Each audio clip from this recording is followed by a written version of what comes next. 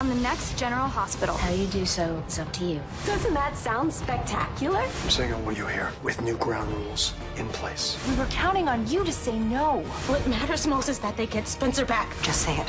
Where is Spencer?